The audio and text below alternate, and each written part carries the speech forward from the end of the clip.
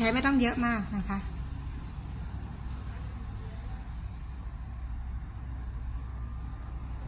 อันนี้คือ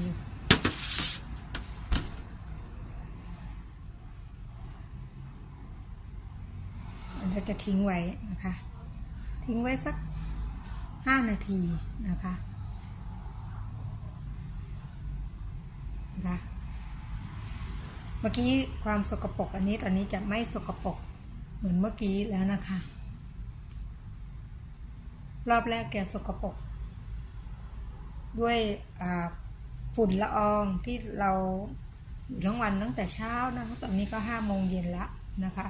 เมื่อกี้สักครู่เนี่ยห้าโมงเย็นนะคะ หน้าก็ไม่ต้องไปแต่งอะไรมากนะคะ อันนี้ผิวสดๆนะคะผิวสดๆอันนี้แล้วก็ นวดนวดให้มันเข้าไปนิดนึงนะคะ อันนี้รอบสองของดิฟเฟนซิ่ง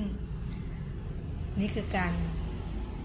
ล้างพิษที่หน้าตัวเองนะคะ ผิวหน้า เอ๊ะทำไมหน้าเราสกปรกขนาดนั้นเลยเหรอ ด้วยนะคะ เครื่องสำอาง ด้วยฝุ่นละออง ด้วยมลพิษด้านผิวหนังที่หนังกำพร้า ผิวกำพร้าของเราเนี่ยค่ะ ผิวที่มันแห้งๆนะคะนะคะ ที่มันแห้งกรอบๆนะคะนะคะ มันก็จะหลุดลอกออกมาด้วยนะคะสิ่งสกปรกที่อยู่ในใต้รูขุมขนของเรานะคะนะคะ ที่มันก่อสารเคมีทำให้ผิวเราเสียแบบนี้ค่ะนะคะนะคะแล้วก็ก็นะคะ เดี๋ยวเราทิ้งไว้สักห้านาทีนะคะ เดี๋ยวสักครู่หนึ่งเดี๋ยวเราก็จะทำการเช็ดอีกทีหนึ่งนะคะนวดนวดให้มันทั่วๆก่อนนะคะ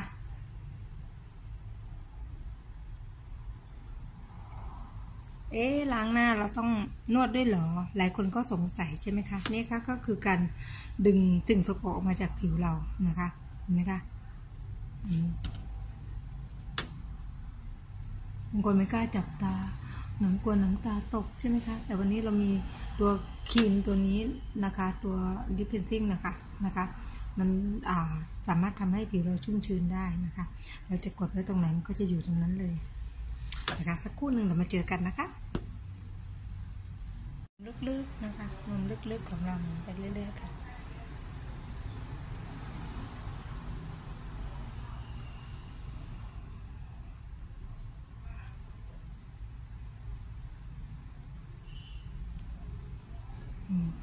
ตรงหน้าท้องมือเลยนะคะ แล้วก็นวด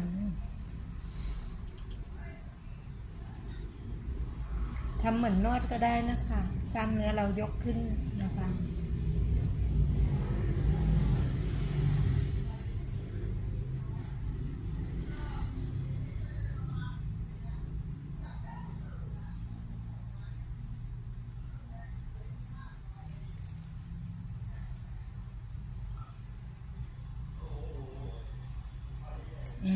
มือแห้งๆเนี่ยนะแตกนะคะช่วงนี้อากาศเย็นนะคะ แห้งๆแตกเนี่ยเราสามารถที่จะนวดที่มือเราได้นะคะ